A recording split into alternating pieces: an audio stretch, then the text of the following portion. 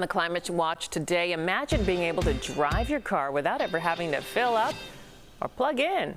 Well, as climate change intensifies, the race for a solar car has accelerated in recent years.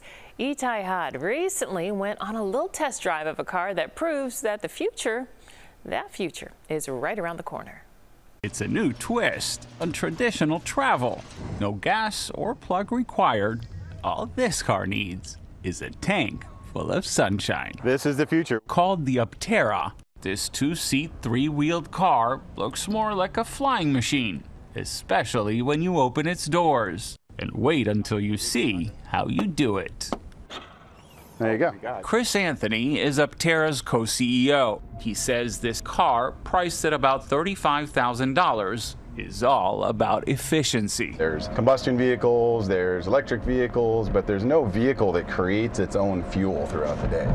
The global solar vehicle market is just revving up from $450 million in 2024 to 2.5 billion in 2030. The Aptera is covered in solar panels, which according to the company can generate enough energy to drive up to 40 miles per day.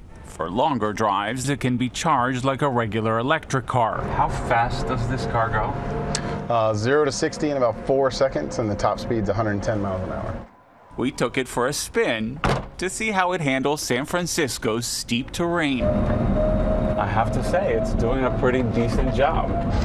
But while these cars have plenty of fans, Stephen Zoepf, a former transportation official and Stanford researcher, says they may not be for everyone. The trade offs very small, very lightweight, uh, limited carrying capacity are going to be deal breakers for a lot of U.S. customers. And then, of course, there's the weather. What happens if you live in a place like San Francisco, known for its fog?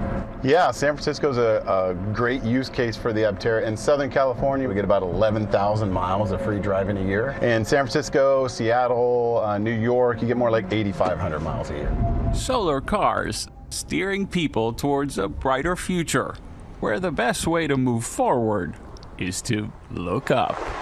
Itay Hod, CBS News, San Francisco.